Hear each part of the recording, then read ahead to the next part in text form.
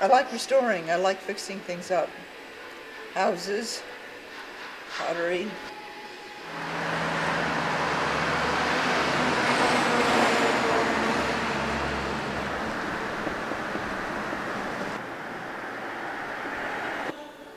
My grandfather was a painter.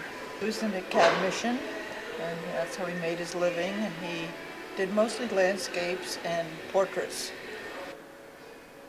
Professor Zambon from New York uh, University did all of the portraits. We have uh, uh, 20 in the uh, lower uh, orchestra area, and up in the mezzanine we have another uh, nine on each side. That makes it 18. Total of uh, 38 portraits altogether. They're important because of the, they're all, it has to do with music. Composers, conductors, performers. We have uh, Toscanini here, the conductor. We have composers from Chopin, Rossini, Verdi, Puccini, Liszt, Wagner, and uh, Enrico Caruso is the performer.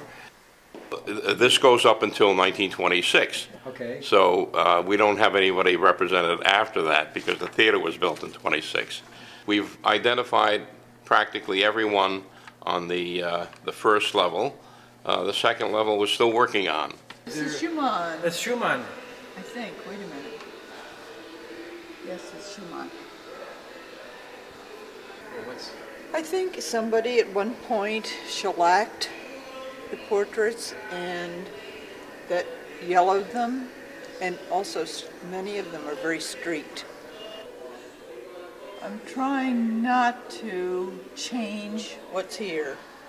You know, what's underneath, I'm afraid of damaging what's underneath to the support, so I'll leave.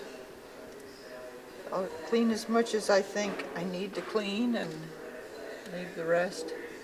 I'm just trying to enhance the, the, the tie here. Because I like Jon and I believe in what he's doing here at the Columbus Theater and it's nice to be part of it. A lot of people that are working here are working because the same reason I'm working here because they believe and ha- they're happy to see the theater coming back after such a long time being closed. I've worked um, with other restorers, m- specifically a man who was the head of the Fogg Museum in Boston, Okay. Morton Bradley. He's now he's not with us anymore, but um, I used to go up and work in, with him for a day on problem paintings. Sure, I, I, I love fixing things up.